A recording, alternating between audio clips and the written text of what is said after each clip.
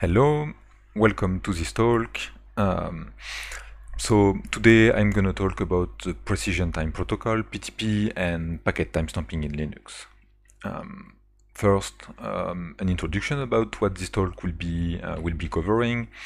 Um, so um, one of the goals today would be to understand what is the Precision Time Protocol, PTP, and what are its mode of operation. Um, we want to see a high-level point of view uh, of what PTP is. We, we don't want to dive into too much details, uh, but we want to get to know how PTP is working so that we'll be later on be able to uh, add support for it in uh, the Linux kernel by providing uh, some aspect within device drivers, but we'll cover that. Um, we also want to have a first glance at what is packet timestamping and how that would be supported in the kernel. Uh, most importantly, how we'll be able to support it uh, in hardware device drivers.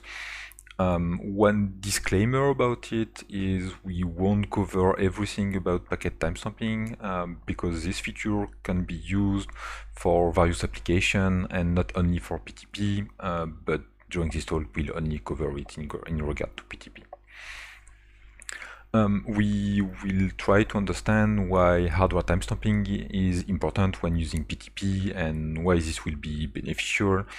Um, and finally, we will see how to support uh, PTP offloading features, uh, including hardware timestamping and PTP hardware clocks uh, in device drivers uh, when having a driver that will be responsible for a hardware engine that can support hardware timestamping and, and that has a PTP hardware clock.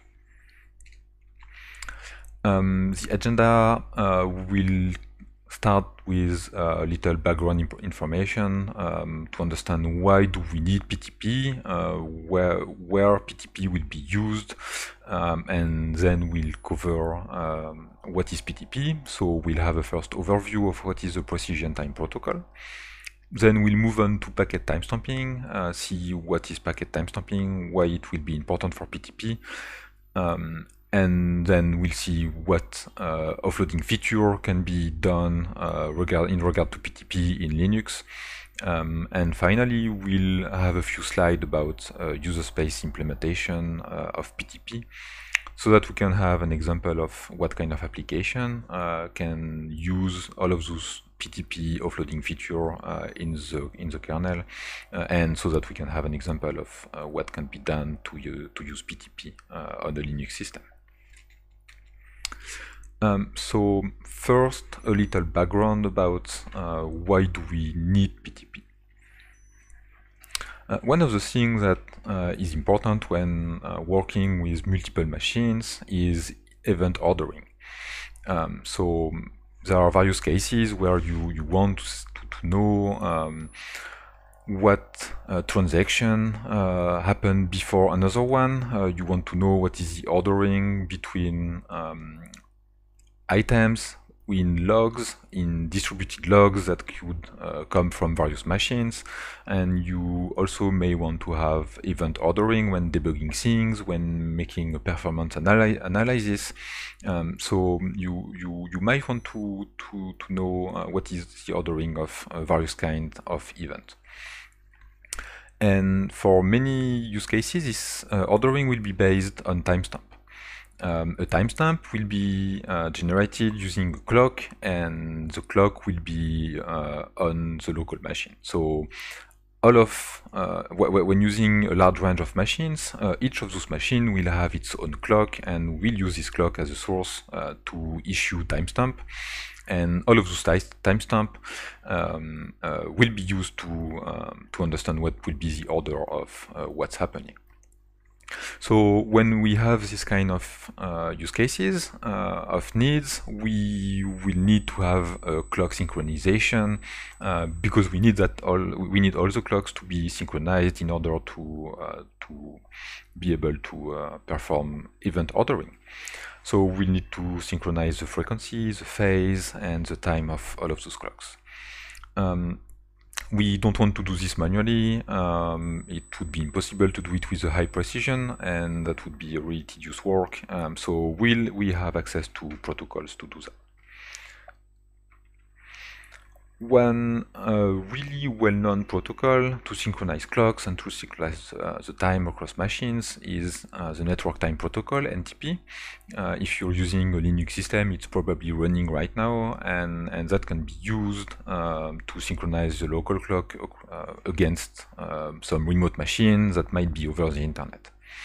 Um, it's uh, working correctly, but it will only provide accuracy down to a few well, within a few milliseconds uh, in the best case scenario when you, you're running NTP client and NTP servers within the same local area network. Um, and so that might not be precise enough for some application uh, because you can have multiple events occurring within the same millisecond. And, and if this is happening, if you have multiple events within the same millisecond, uh, you have no idea and you, you, really can't know what uh, was the first one to occur. Uh, you, you, you will not have event ordering um, between all of those events. So there is a need for a higher accuracy. And this is where NTP will, uh, will come into action.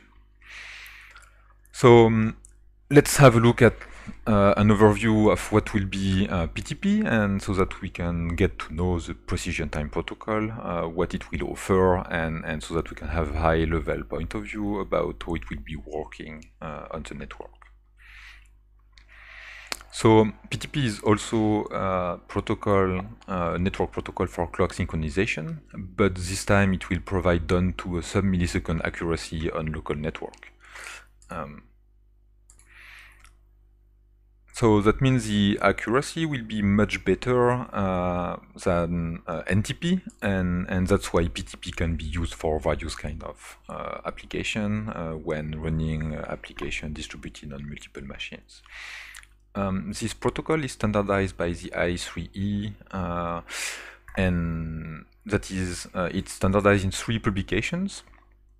So if you want to get to know it uh, deeply, really understand how PTP is working, you can have a look at those three publications uh, and you should have everything uh, right and done there. Um, PTP will uh, be working in a pyramidal uh, architecture where you will have leaders and followers for clock distribution. Um, so um, we will have three uh, possibilities. You can have a leader, which is called a grandmaster within the protocol. Uh, you can have a boundary clock. Uh, we'll see what is a boundary clock and, and where it can be used. And finally, you should have lots of followers, uh, which are called slave within the, the standard, uh, follower clocks uh, that will be synchronized against the leader. Um, so you usually have a single leader. Uh, well, you will have a single leader. You can have, uh, but that's optional, some boundary clocks, and then you will have lots of followers uh, that will be synchronized against the leader. Um, PTP is a network protocol, and it can be transmitted over various kind of uh, protocols. Um, so it can be transmitted over Ethernet. Uh, you can also use UDP, and when using UDP, you can use uh, IPv4, IPv6. Uh, you can use a multicast, uh, you can use a unicast address. Um, so you, you can um, have well multiple choices uh, depending on your needs. Of course, depending on the publication used as a reference when implementing the PTP protocol, uh, not all of those modes might be uh, available.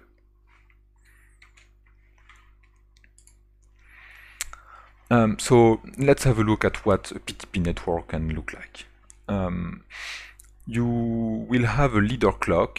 Um, so the leader, leader clock will um, be the time source for the PTP network. Uh, it will be used to synchronize all of the other clocks uh, to it. Um, so it will be uh, the uh, official uh, clock uh, used as a time source. It's usually synchronized against another external clock using GNSS or other kind of mechanism to, to have an external source uh, to, to, to synchronize the clock.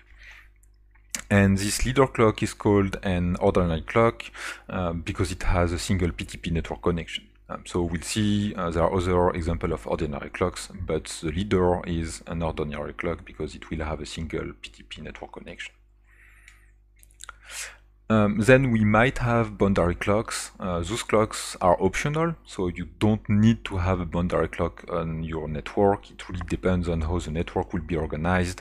Um, and a boundary clock uh, is a clock which will have multiple network uh, connection, PTP network connections, uh, and it will be used to synchronize its clock against the leader and to act as a clock source for the followers. Um, so it's a clock that will be uh, between PTP networks uh, so that you can have a leader to, to talking to followers uh, that might not be directly accessible over the network. If the um, leader disappear, um, the boundary clock might become the next uh, leader uh, if that is the case. And, and finally, we have follower clocks. Um, so follower clocks will be uh, all of the elements in the network, in the PTP network that wants to synchronize, uh, to be synchronized against the leader. Uh, and those clock will also be the line clock. Um, so they, they might synchronize against um, the boundary clock or against the leader depending on the network architecture. If the leader disappears, they also might become the new leader um, and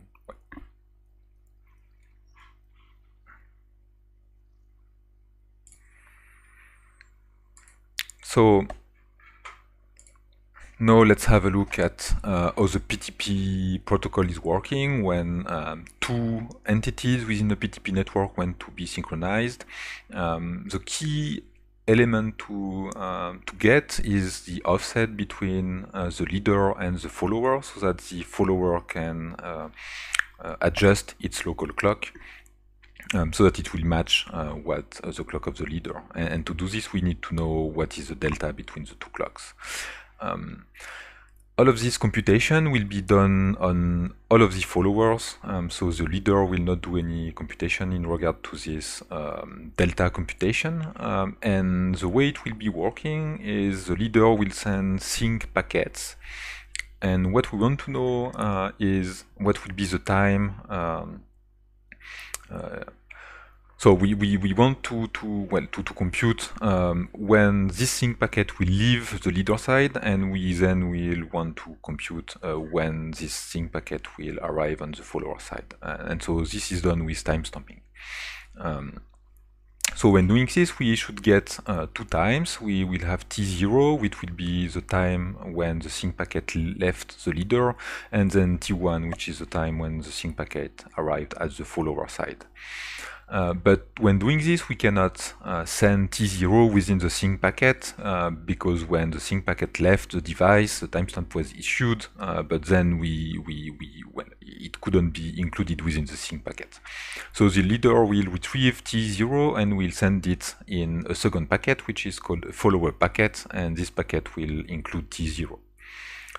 Um, then we will have another exchange that is being that, will be done. Um, it's the delay request uh, when sending it from the follower to the leader. So this time it will be uh, sent in the other way uh, around. Um, so we'll compute T2, which will be another timestamp, and, and T3, which will be the timestamp when the delay request will arrive uh, on the leader side. Uh, and again, because all of the computation will be done on the follower side, we need to retrieve T3, and this is why a delay, uh, a delay response will be issued back to follower to the follower side, uh, including T3, um, so including the timestamp 3 information.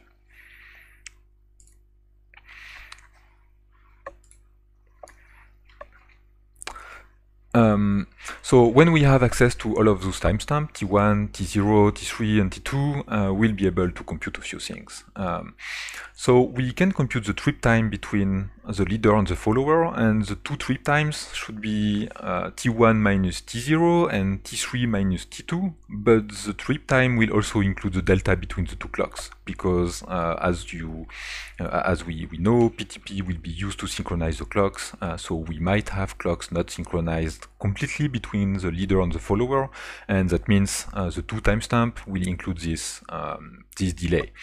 So um, we will have the trip time between uh, the leader and the follower, which will be uh, DLF.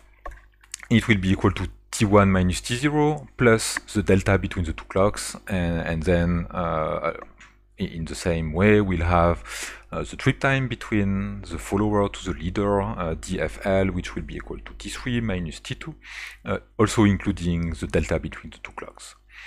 Um, here we will be we will assume that the two trip times will be equal. Um, so I, I, know and, and we, we know it's not uh, it cannot be entirely true, but uh, within local network we shouldn't add too much delay to uh, uh to our computation, and this is why we we, we do this. Um, and so if we assume the two trip times uh, are equal, uh, then we have DLF that is equal to DFL, and uh, we can know what will be the delta between the two clocks. Um, and the delta will be uh, T1 minus T0 plus T2 minus T3 uh, divided by 2. And thanks to this delta, um, the PTP uh, implementation will be able to use um, some algorithm, uh, some of which will be called filters, uh, to, to know what sort of adjustment uh, should be done on the local clock. Um, so should the frequency be lowered, increased? Uh, should we set the time? Should we um, um adjust the phase? Uh, well, many things can happen, and that will depend on all of the computations that will be done locally. but the the key aspect that will be used, the key element that will be used for this computation will be uh, the delta between the two clocks. Um, what we saw was an example where PTP uh, is working in um, a two-step mode, uh, that is the default mode, um, sending two packets. But you can also have a one-step mode that can be supported. Um, so one step will differ from the two-step mode uh, by including T0 within the sync packet. Um, so if you recall, we had this sync packet uh, sent from the leader to the follower, and because we couldn't include T0 uh, within the sync packet, we had to send it after the sync packet in a follow-up packet, including T0 but having the right hardware support for it, we can issue a timestamp when a packet will be sent to the other side, uh, when a packet will be sent from the leader to the follower, and the hardware will be able to also include directly T0 within this packet. Uh, when doing this, we will be using uh, the one-step mode of PTP. So the only difference will lie in the leader side. Uh, that means you need hardware support for it if you want to use uh, one-step mode um, as um, a leader within a PTP network, but uh, as a follower, you don't really need uh, you don't really need this. Uh, the only thing you need to do is to extract T0 from the sync packet, but that is only a software uh, a software decision. So depending on the machine you'll be using, depending on the hardware um, um, engine that will be available on this machine, you might be able to select two-step or, uh, or one-step modes uh, depending on what's available. Um, so we, we, we saw that packet timestamping plays a very important role uh, when using PTP uh, because timestamp will be used to compute what will be the delta between uh, the follower clock and the leader clock, uh, and this delta will be used to correct the, all of the clocks uh, in the PTP network. So we, we will see a few things about packet timestamping. Um, one of the things when using packet timestamping for PTP and also for other use cases, but uh, regarding PTP, is that the timestamp must be accurate. Uh, it plays a critical role within the time offset computation, and if the timestamp is not accurate enough, uh, you might introduce uh, delays, extra delays, uh, you can introduce errors within the computation, and that will not be a good thing when uh, using PTP, uh, because then uh, the clock adjustment won't be uh, exactly what you would expect.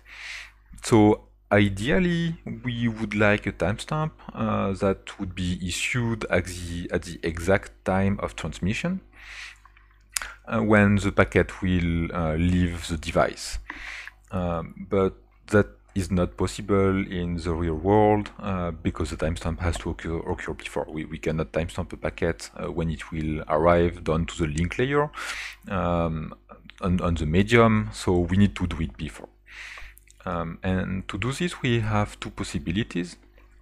one would be to do it in software, and the other one would be to do it in hardware. And so we will see what uh, is the difference between the two and, and why do we usually prefer to do it in hardware when using PTP. Um, so software timestamping can be done uh, in the application itself uh, or within the kernel. When using PTP, we will um, we will do timestamp within the kernel because it will be more precise than doing it uh, within the application. Um, and those kind of timestamping will be done using the system clock. Um, the delta between the timestamp and the ideal timestamp, so the actual uh, timestamp, the actual time when the packet will leave the device will be quite big uh, because the timestamp will be done in software uh, and that would be far away from the actual transmission a, a, lot can happen. You can have uh, scheduling, so you can have other thread that uh, might be scheduled uh, before your packet is end over is handed over to the to the hardware. Uh, you can have, have queuing uh, that will uh, occur when using a timestamp in the application. you can have interrupt firing, so you, you, can have many things that will increase the delta between the timestamp that was issued and the ideal one. So you can use uh, software timestamping, but if you have access to hardware timestamping, that would be uh, really better to have uh, good accuracy. Um, and so then you, you have hardware timestamping, uh, where timestamp will be done within the hardware. Um, so it could be done within a, a, MAC driver or a Switch driver as well. You could do it in a PHY, uh, or it could be done in a dedicated controller and that will depend on what uh, the hardware engines will be cap capable of on your on your machine. Um, so it will really depend on the machine you'll be you'll be using. When doing a hardware timestamping, uh, hardware timestamp, um, the clock source will be what's called the PTP hardware clock, uh, which will usually be included within the uh, engine that will perform the timestamp. So we won't be using the system clock.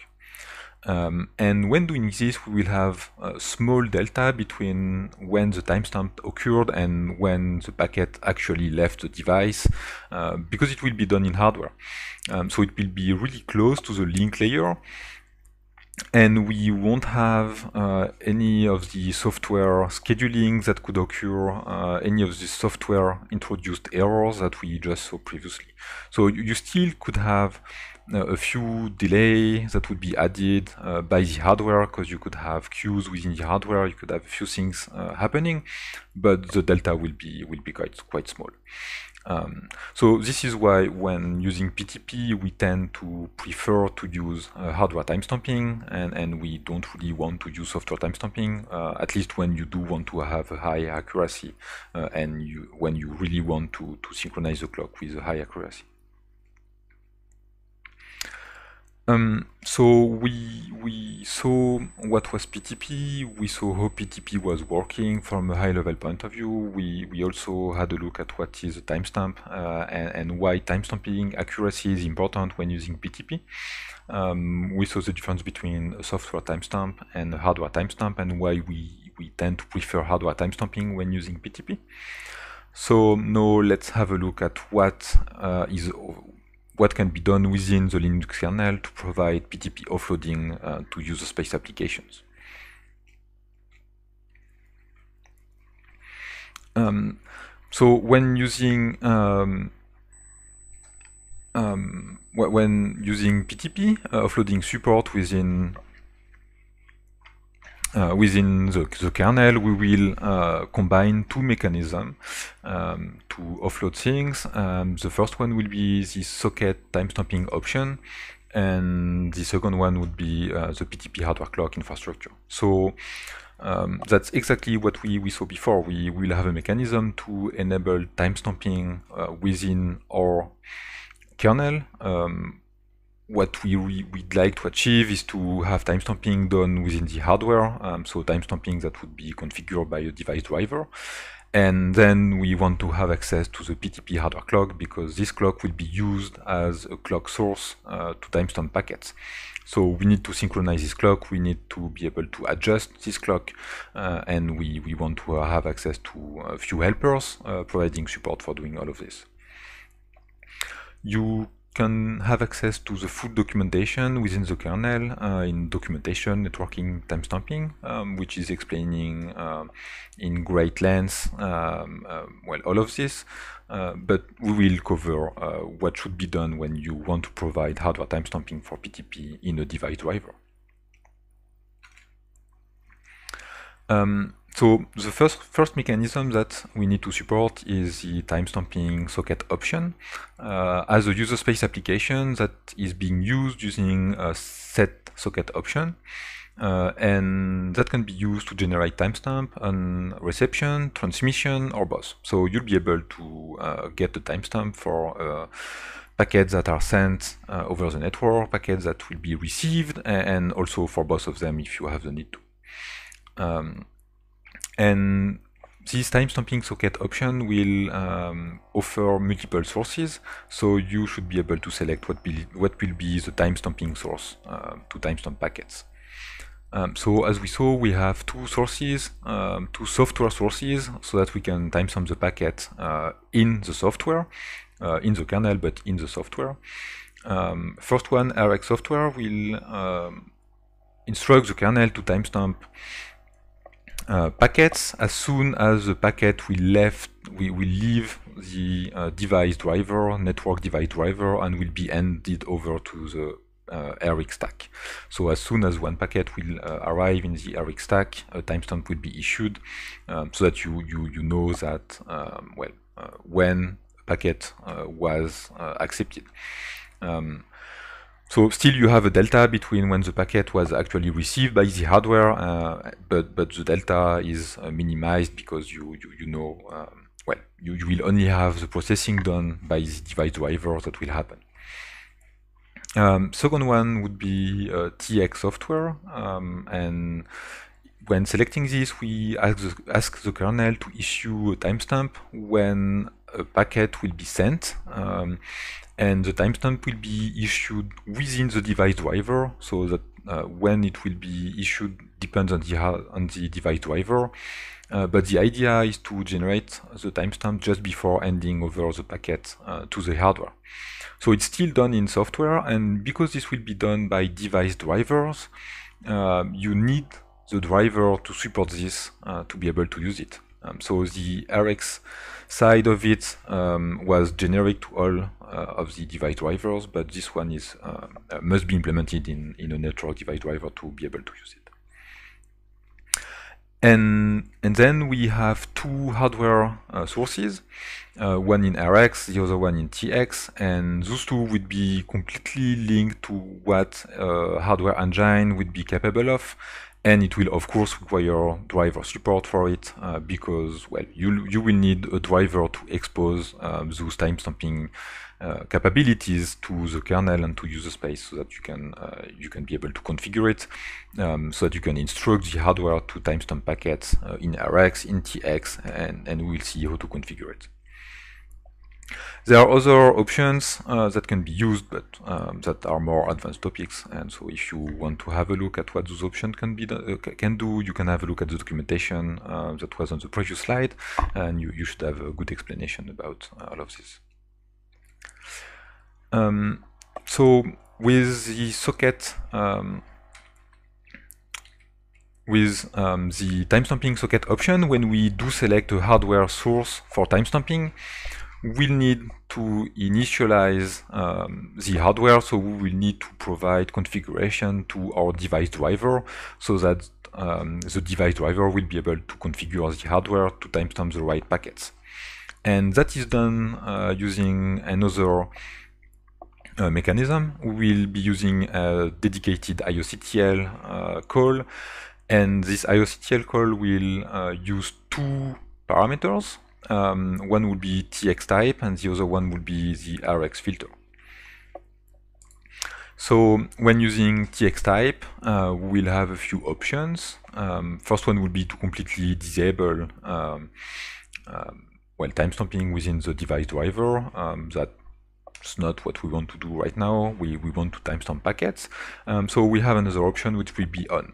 Uh, when we have this hardware timestamp TX on that is enabled and, and given to a device driver, um, the device driver will instruct the hardware to timestamp uh, packets uh, that will be sent uh, through this uh, uh, hardware device. Um, and the timestamp will be reported back to the device driver in various ways, depending on what the engine would be capable of. It could be uh, an interrupt, for example. And, and when the device driver will retrieve this timestamp, uh, it will uh, send it back to upper la layers, and the user space application will be able to read it using uh, the socket, socket error queue.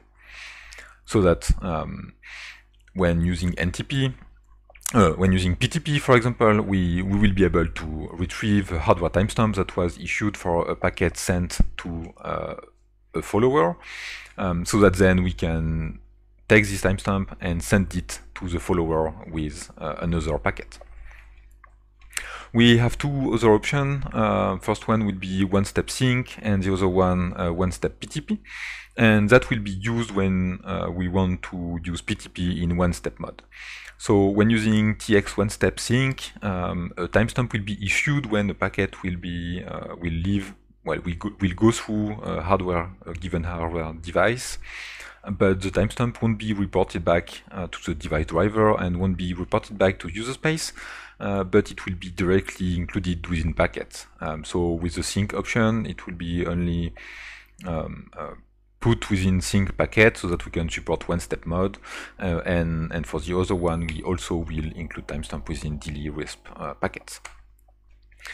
Um, one of the things with uh, transmission is we don't need to um, configure filters um, uh, because we not every single packet will be timestamped when uh, leaving the device. The user space application will instruct the kernel to uh, timestamp some of the of the packets that will uh, leave the device, and for only those packets, uh, we can configure the hardware to timestamp the packet. But that is not possible in RX. Um, so that is why we have a filter in RX that we need to set up um, so that we can match some of the incoming packets and so that we can issue a timestamp for those packets uh, and then retrieve the timestamp and, and send it back, uh, well, send it to, to, user, to user space so that it can be used. So um, you uh, have a large range of filters that can be used to do this. Um, so none will mat wouldn't match uh, any any packet. All will uh, match everything that will be received. Uh, so a timestamp will be issued for every single packet uh, that is being received. And then you have more precise uh, filters. Uh, I only uh, have two of them on the slide, but you have a full list in the net timestamp header in, in Linux. Um, so for example, one of those two possibilities would be to instruct the hardware to match PTP v2 packets uh, sent over UDP uh, only for sync packets, and only for those packets you will get you you would get a timestamp. So you can really uh, have a fine-grained configuration uh, performed over the, the uh, hardware so that it will issue timestamp for only uh, some specific, really specific packets. Um, we, we saw that many of those timestamping uh, capabilities should be supported by device drivers. Um, so we need to report what should be what, what would be available uh, to user space. And one of the way to see it, uh, to debug it, would be to use uh, ethtool and dash T. Uh, the dash T option would be used. So um, in this example, if we want to see what ETH2 will be uh, capable of in regard to PTP, um, we can have a look at that and we, we see that uh, TX uh, timestamping in hardware and software uh, is supported and we have the same in RX. Um, we, we also have um, a list of filters that would be supported. So uh, we only have two options here. We can uh, either match no packets at all, or we can uh, filter all of the packets that, that, will be received on the interface uh, to get the timestamp for every single one of those packets. and in the TX side, we can support uh, two-step mode and also one-step mode uh, for sync packets.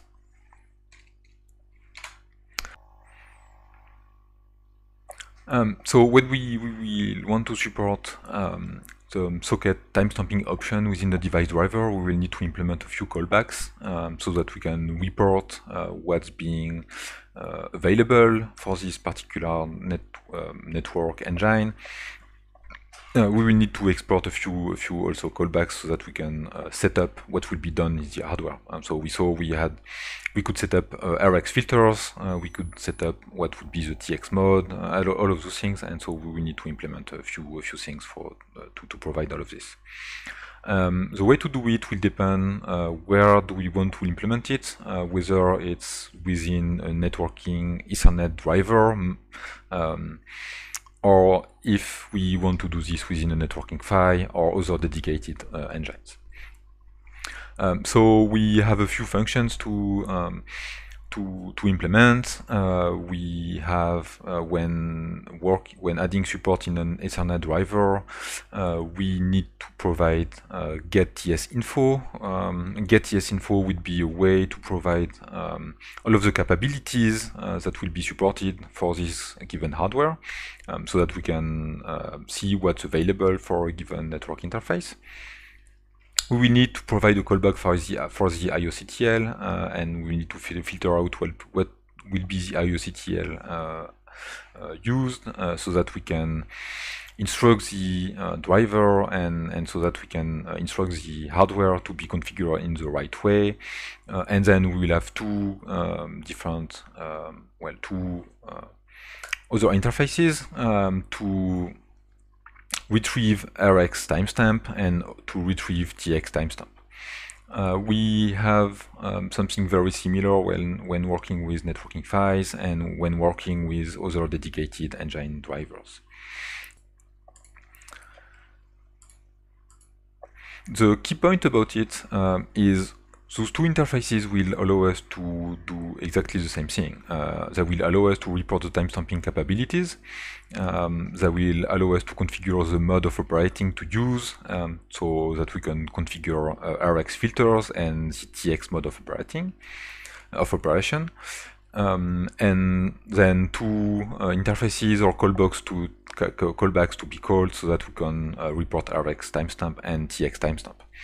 Um, one of the things with TX timestamp is that could be asynchronous um, because if the timestamp isn't included within the packet, uh, it will came later on. Um, so the packet will be issued, will be sent to the hardware device.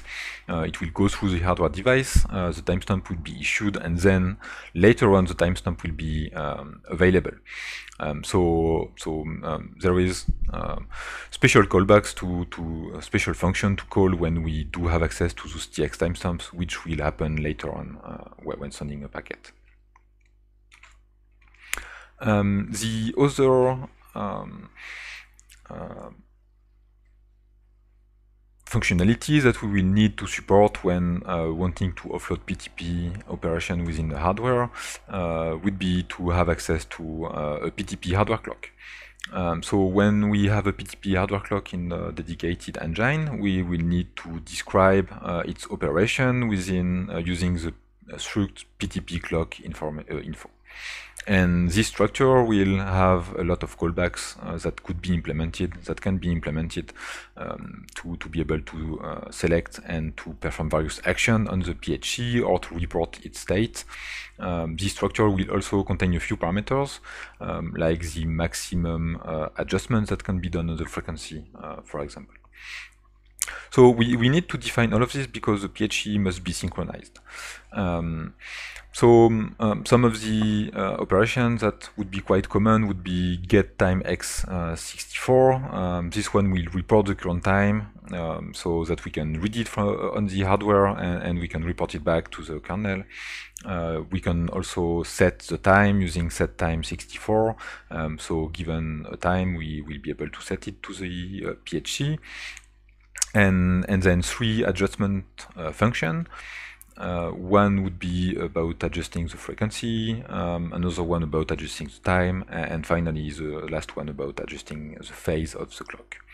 Um, depending on what's available in the hardware engine, you might not be able to implement all of those uh, callbacks, but, but well, in most cases, most of it uh, uh, should be implemented. There are also other functions that uh, can be implemented within the PTP clock infrastructure, uh, but that would be really depend on the uh, um, hardware and, and what are its capabilities, but they, they won't be used for PTP operations. Um, we had the opportunity to work on a few PTP offloading um, uh, devices, and and so if you want to have an example uh, about what, uh, well, how PTP offloading could be implemented, um, we uh, added support for it within the MSCC, the micro semi Ocelot network switch, uh, available in drivers net Ethernet MSCC, and also we, we did it for a PHY uh, for the VSC85XX family. Uh, and, and, this one uh, is uh, available in drivers net uh, PHY, MSCC, MSCC PTP so so that you can have a look at two implementation one for Ethernet drivers and the other one for PHYs um, so not using exactly the same interfaces uh, but really implementing the same logic and finally, a few words about um, user, um, user, space implementation of PTP and what can be, well, how all of this could be used by user space application. Um, one project that is uh, quite well known and, and, widely used is the Linux PTP project. Um, so it's an implementation of the precision time protocol uh, for Linux, and it's maintained by uh, the maintainer of the PTP support in the Linux kernel. Um, so it really provides a reli reliable implementation of PTP for Linux, uh, and most importantly, it will correctly use uh, the kernel interfaces for PHC and timestamping. So everything that we saw previously will be used in a correct way by uh, the Linux PTP project. Um, so it you, will be able to use it um, to test features, uh, to synchronize machines, uh, but also if you want to have a reference implementation and see how all of those uh, interfaces will be used by user space application, you should be able to have a look at the sources of the Linux PTP uh, project um, so that you can see uh, all of those uh, operations are being done. It will provide a few utilities, including PTP4L and PHC2sys. There are other ones, but we will only cover those two utilities uh, that are quite uh, useful when wanting to use PTP on a Linux system. So first one is PTP4L, um, and that would be the implementation of PTP for ordinary, ordinary and boundary clocks. Um, so it can be used if you want uh, to provide, uh, if you want to be the leader, if you want to be the boundary clock, uh, or if you want to be a follower. Um, PTP4L can, you, can use software or hardware timestamping. Um, so you can configure it uh, to, to select what source uh, will be used for timestamping. And it can perform PTP operation on top of UDP, uh, IPv4, IPv6, and also Ethernet. Um, so it's really providing uh, a, a, wide support for PTP operations.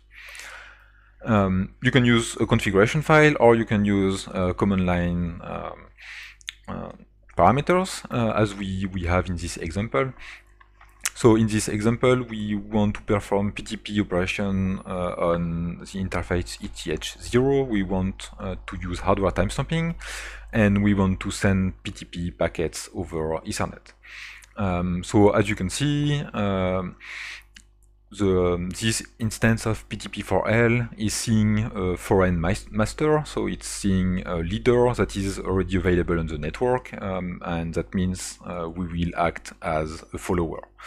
And then you have a few logs um, that will happen um, when the follower will be synchronized against uh, the remote leader.